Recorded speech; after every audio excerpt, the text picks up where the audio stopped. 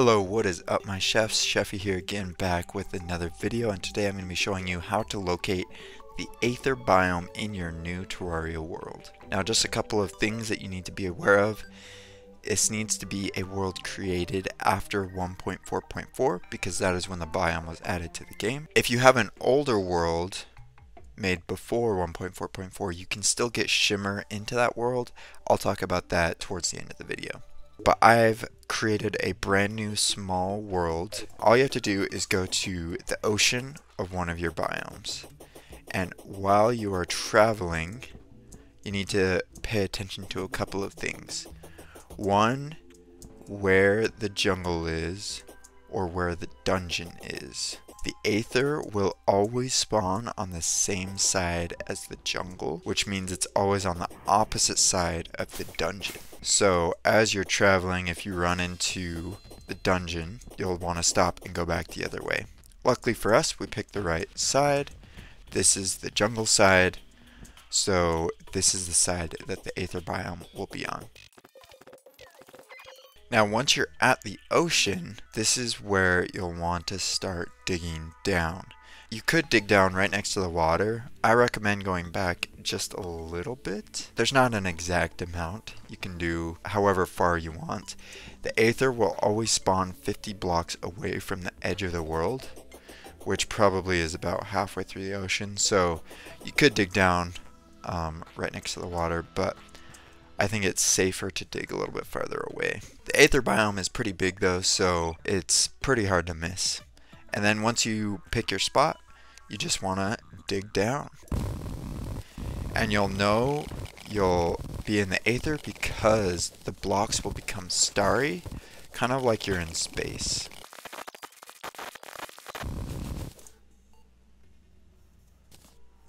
Alright, so I dug all the way down, and I did not find it. Not to worry, that doesn't mean that the Aether is not in this world. It just means I missed it. So you have a couple of options. You can try digging a little bit farther away, or you can try digging closer to the edge. I would recommend digging a little bit farther away. Sometimes it spawns farther out here than you would think. So I'm just gonna hop back over to the ocean biome that I was at, and I'm gonna dig closer this way. Like I mentioned, the Aether biome is pretty big. It's roughly about 200 to 250 blocks wide, so it's pretty hard to miss. Oh my goodness, there's a enchanted sword shrine in this world. Very nice. Alright, let's see if we hit it this time. Alright, so as you can see, the blocks turn starry, which means we have found the Aether biome. I don't want all this water to go into it though, so I'm just gonna quickly mine that away. And then we can go ahead and come on in. Now what's cool is it always has like this little walkway to it. And here it is. So in this world it was about here. Now it can generate anywhere in the last fifth of the world or edge of the world. So you may have to dig a couple of tunnels to find it, but it will always be on the side of the jungle. And once you find it, as you probably already know, this is a super, super useful liquid. You can transmute things into other things and all of that jazz. So I hope this was helpful. Now, if you have an old world and you want to get the shimmer liquid into that world, there's really only one option for you, and that is to get a bottomless shimmer bucket. Now, to get a bottomless shimmer bucket, you have to defeat Moonlord and then toss in a bottomless water bucket into shimmer.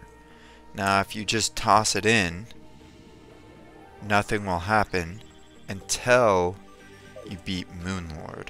Then once you've beaten Moonlord, when you toss it in, you will get a bottomless shimmer bucket, which then you can take with your character to your old world, and that is how you can get shimmer into your old world. Also a couple interesting things to know is that you can move shimmer with pumps. So if you're wanting to move it around in your world, but you've not beat Moonlord yet, that is one way to do it. That's going to be it for this video. I hope this was helpful. The Aether biome is super useful. Thanks for watching. Make sure to subscribe for more Terraria content, and I will see you in the next video.